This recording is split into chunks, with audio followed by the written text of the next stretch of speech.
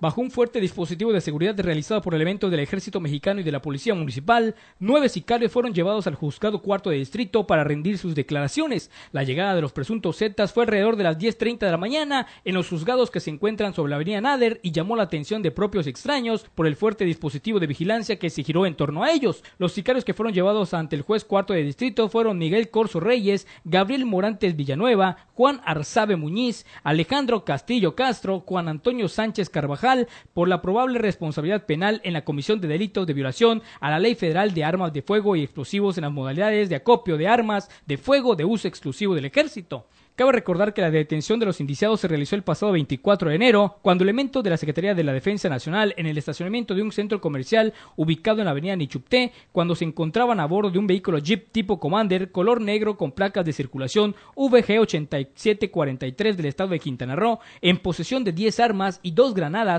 todo de uso exclusivo del Ejército, Armada y Fuerza Aérea. En la lente Ricardo Vallejo y en la información, Renan Moguel para Notivisión.